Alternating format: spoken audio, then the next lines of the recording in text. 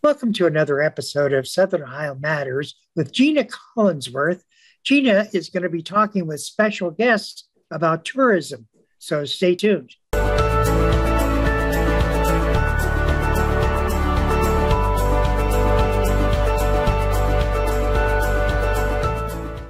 Welcome to another episode of Southern Ohio Matters with Gina Collinsworth. Gina Collinsworth is a public information coordinator with the Ohio Valley Regional Development Commission in Waverly, Ohio. Gina, it's always a pleasure talking with you. You bring so many great guests talking about neat, nifty things that are happening, uh, not only in Ohio, but Southern Ohio especially. Thank you, Patrick. It's always a pleasure to be with you. And I enjoy talking with you about things because there's a lot of great things happening in the region. So we want to make sure that we're shining a spotlight on those and people will understand better how can they get involved. One, one of the uh, guests that you have, I guess, is very actively involved in the tourism.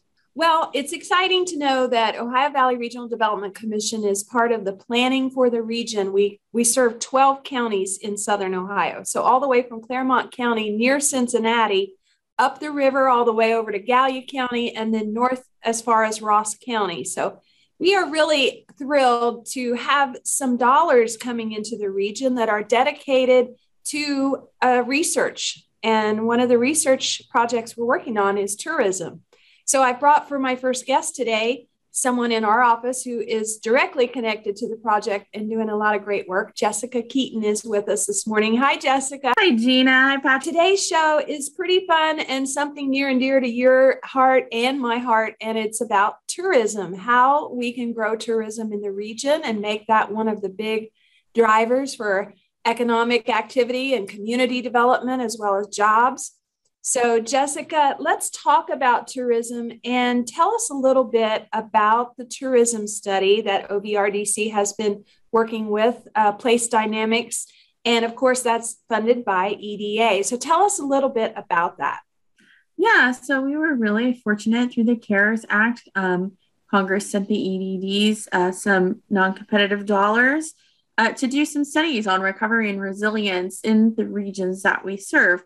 And when I, I spoke with our executive director, John Hemmings, about this money, I said, you know, this is a really great opportunity for us to, you know, take that and do some planning work with it that would be really meaningful. Because we had been working um, towards some sort of planning project for tourism prior to this and prior to the pandemic, but um, we hadn't been able to secure funding for that. So it was it was really exciting to get these dollars, and John, of course, approved that. So we moved forward, put out our RFP, hired Place Dynamics, and they're doing some really exciting work in the region, following you know patterns of travelers in and out of our region. So they're they're looking at tourists and you know local visitors to our tourism assets. Um, you know, pairing up where are people going when they might visit one asset or another.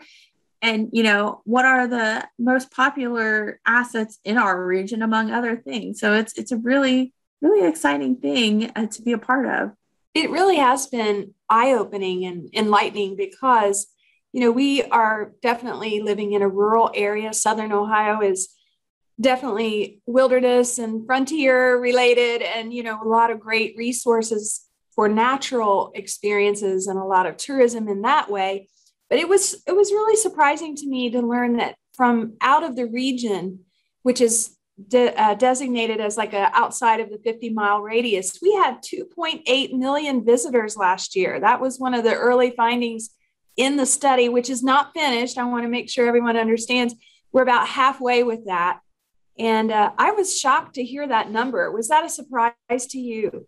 Not really uh, for me personally, because um, we have a lot of world class uh, natural and cultural assets in our region. We are home uh, to uh, the largest jungle gym store, which is a huge draw. Uh, we're home to actually the bulk of ODNR's bridle trails, for instance.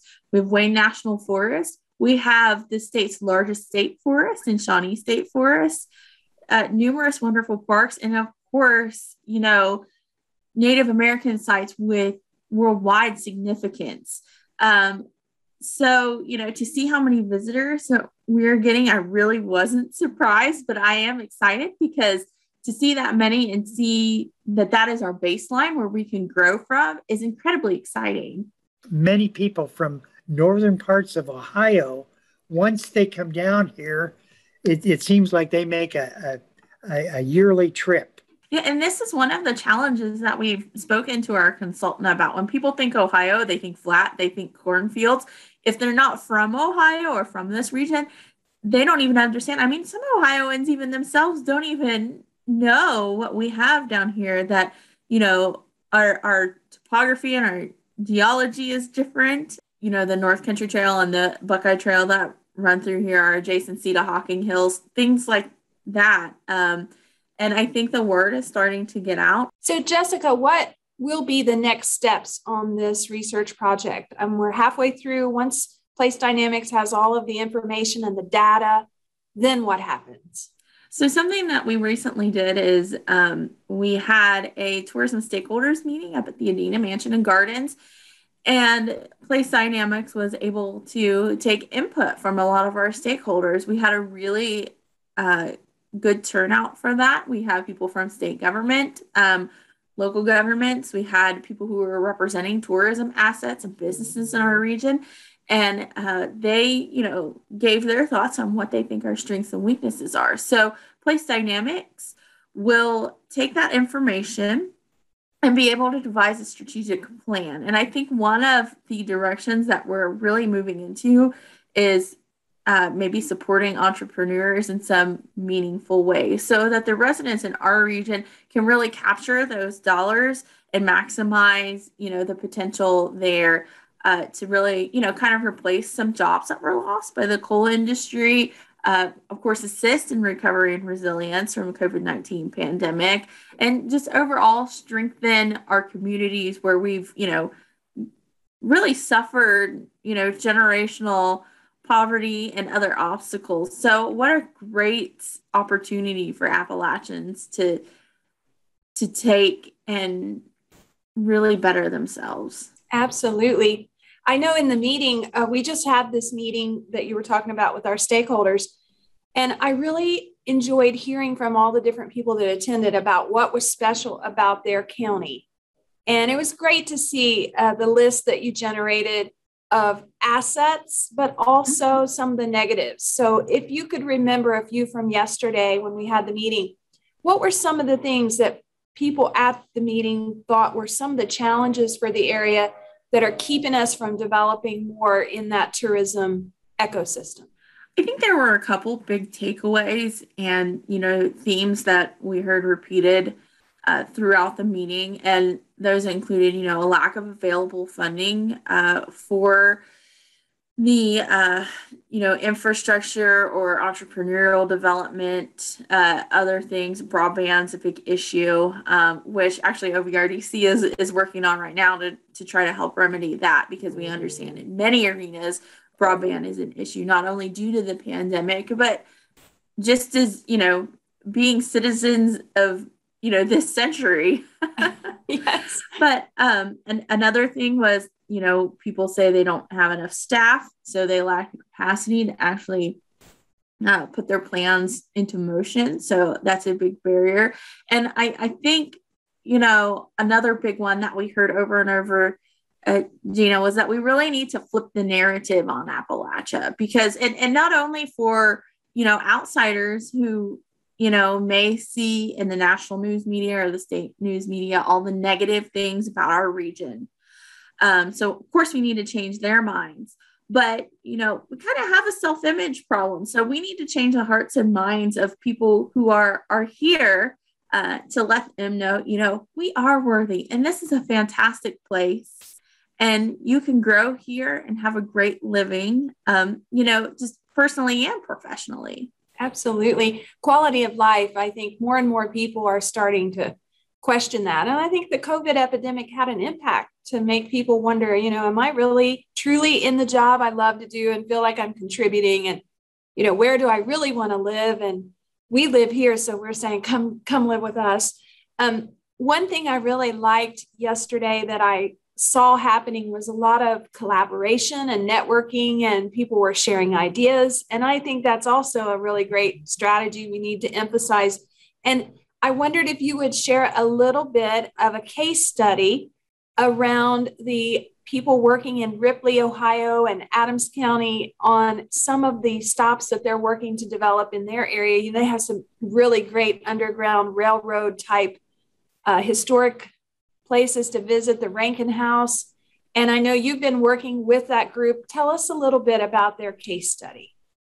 So, Ripley is a wonderful community, really picturesque small village on the Ohio River. And like Gina said, it's chock full of history and just natural beauty. So, um, actually, it was three years ago. It was the end of October 2018. Um, the uh, people who represented Ripley at the time invited me down uh, for a meeting to talk about, you know, what can we do to grow tourism? And they were really interested in constructing a boat dock because we have river cruises that go up and down, you know, the river out of Cincinnati and up towards Marietta.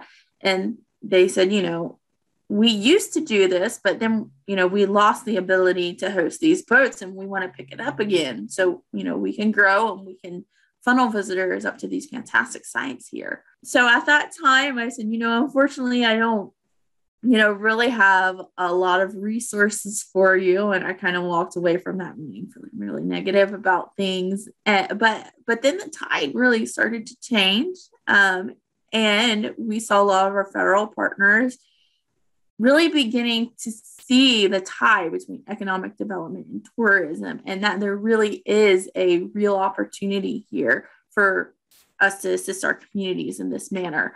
Uh, they got a hold of us and Brenda Haas with GOA, and GOA is a fantastic partner. And I don't governor's think, office of Appalachia, yes, governor's office of Appalachia. I don't think that we would be anywhere without them.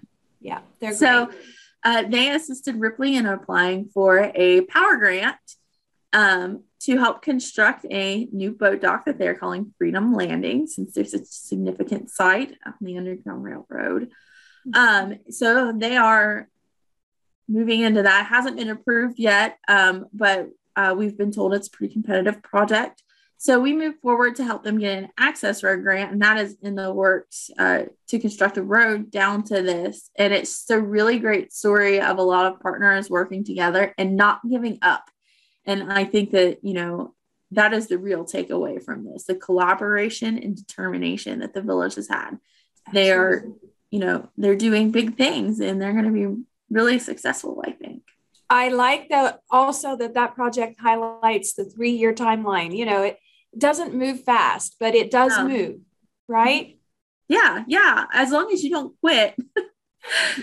you know, you never know up. what's going to happen, uh, yes. you know, as far as these funding sources go. So if you have a plan, you can put something into motion, but, you know, without a plan, where are you going to go? We're excited about this plan and this research that we will have in probably, do you think the middle of next year we'll be able to put it out? Or when will the study and, and all the data collection be finished? Yeah, so this meeting marked the halfway point. Uh, for these activities. Um, so, June of next year, uh, we should be uh, at or near the point of being able to release that that full strategy and all the information. Once again, I want to remind everyone that Jessica helps with economic development. She's the coordinator for economic development in the office. So EDA currently has funding for related tourism projects as well as ARC, Appalachian Regional Commission, and the Power Grant Program, which is to assist coal communities with transitioning their economy. And tourism is a great option. So, Jessica, thank you so much for being with us today and sharing your information and for what you do every day, day in and day out, which is assist communities in the region and help people. And you do a great job. Thank you. And thanks for having me, Gina. And you're definitely a part of that effort. We're a team, great team yes, here at OVRDC. So one of the things the governor's office of Appalachia has mentioned is, and what Jessica mentioned, flipping the narrative. You know, Appalachia, for some people who may have never visited, I'm sure that what they have heard or read about is nothing like what it is here. So, you know, that's something you really have to think about, though, especially for tourism, is how do you educate people about the beauty of the region and the availability of sites and, and events and, and, the people and the and people. the people. Yes. So, our next guest is another great person that's related to tourism, and we're going to speak with her next. I'm so excited, Patrick, for all of our viewers to meet Amope Carter de Boyku. Omope is here today, and she is an actor, a storyteller, and a writer. And we met at the Tourism Summit meeting that we had recently. And I wanted her to come on the show and share some of her story. And it's great to have you here today, Omope. Thank you so much. Thanks, Gina. Thank you for helping another dream come true. I appreciate it. Yes, I'm so excited by your project and the plans that you have, and I want everyone to meet you. So, tell us a little bit about yourself and mm-hmm. tell us about how your work relates to tourism in our region. Okay, well, I grew up in Ironton, and just to prove that I'm a real Irontonian, I know that it's correctly pronounced Arnton. That's right. And I know the state that it's in is Ohio. so, Ohio. but I, I grew up there. I graduated from Ironton High in 1970. I had I am the oldest of four siblings, two of which are Ironton High grads, two of which are South Point grads. So, you know, we we we rock both colors at our house. We had to learn how to cheer for South Point. That was a little mm-hmm. hard, but we managed to do that. I am from the Carter family my father is the Reverend Douglas D.C. Carter, um, and he is the second oldest of a slew of 12. So I write, when I write, I often refer to my seeing eye family. And somebody asked me, Oh, was somebody in your family blind? I said, No, there were just so many of them that everywhere I went, somebody could see what I did. That's why I called them my seeing eye family. But I started storytelling in 1990 as a way to adjust some marital issues. Um, I had my children late in life. So there I was at 38 and 41 with newborns, two kids under the age of five, and one income. And years ago, as a child, I had been encouraged to do speeches at church. I was a, a, narrator for a Christmas play in kindergarten. I had done some work at, at the university level high school plays, university pageants, you know, just placeholders. But everywhere I went, people said, You have the most unique voice. Um, you should do something with that voice. So, but at that time, you know, teachers, teaching was a primary uh, occupation for women, nursing, and being a clerk. And which insisted, you know, so my mother insisted that I have fine handwriting and an expansive vocabulary that's what made me a writer. That and the Bobbsey twins and Nancy Drew and all the other things that I was reading, Happy Hollisters. So the library became my refuge, and I was a voracious reader. Uh, my parents invested in an encyclopedia, and for our new generation, that's like getting your own special internet account. You know, having your own set of encyclopedias in your house um, was a sign of uh, economic and intellectual status. Uh, some people would have said it made you uppity and hinkty, but hey, it made me a scholar, right? So, so, you started in Lawrence County in Ironton, and right. now you live where? Dayton? I'm in Dayton, but in between, I spent 30 very, very um, productive years in Cincinnati. Mm-hmm. And then I, I did time in Cleveland. I did three years in Cleveland in that get up in the dark, come home in the dark snow from Halloween to St. Patrick's Day yes. and decided then I didn't need to live north of I 70. That's not my landscape. I prefer hills and valleys as opposed to sheer lines, lakefront wind. Yes. the beauty down here. We were just speaking with Jessica Keeton, who I know that you had met through our office as well, yes. and the tourism project. And we were talking about the beauty of the area. I mean, our region is so gorgeous. So, I'm interested, what are some of the challenges in your opinion? I know you're very interested in tourism as far as connecting the landscape to some of the the historic significance. So tell us a little more about that. What do you feel are some of the challenges in the region to making tourism a big echo, you know, an e- economic driver? The first thing that I noticed as a child, well, teenager, was when the uh, federal and state money came available during the 30s to the 60s with the urban renewal programs that wound up redlining housing. Well, Ironton was too small to redline. We already knew where the red line was, but we had a mixed community, so the housing issue didn't bother us.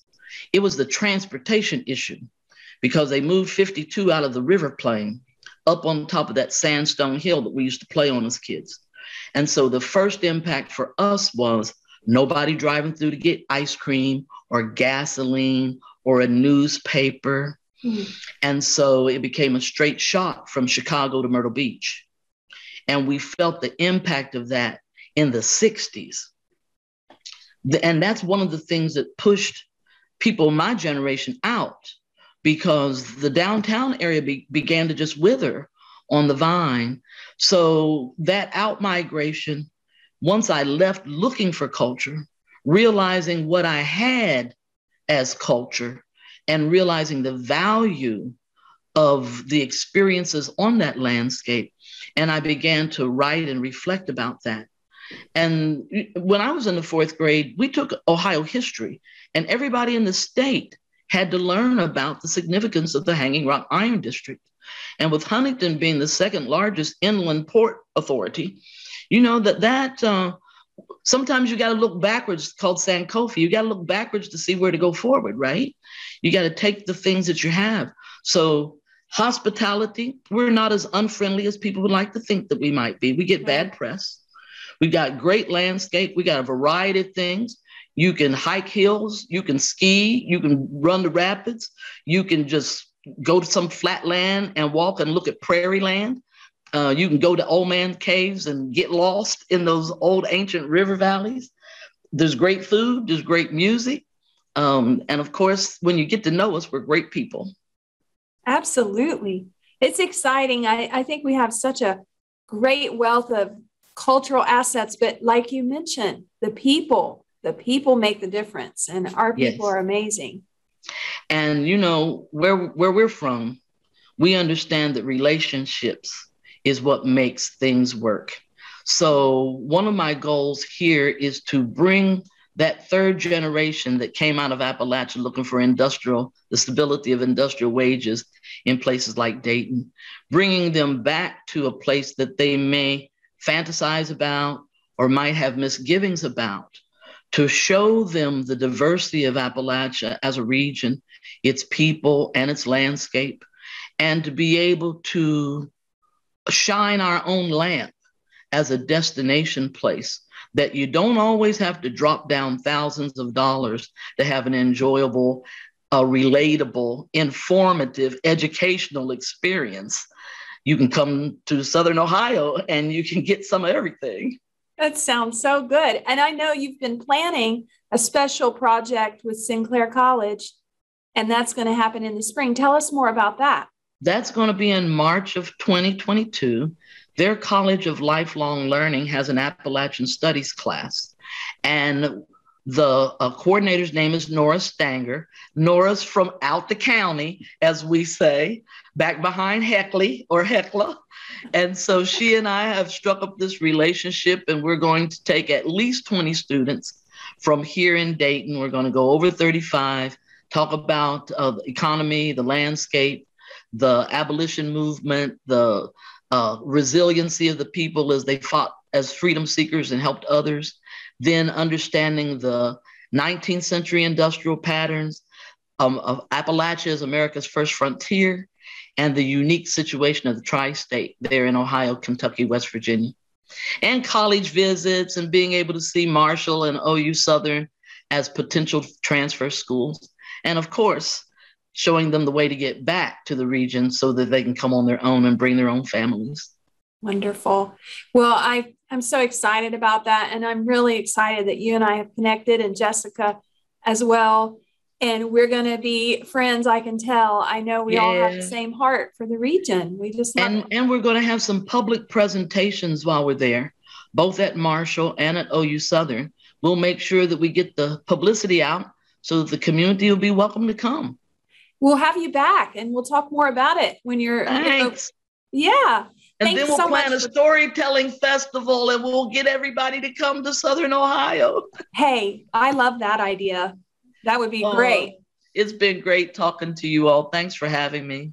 Thank you, Omope Carter Daboiku. And that's it for the show today. Patrick, we've had a great show about tourism and talking about the beauty in our area. We love Appalachia, Ohio.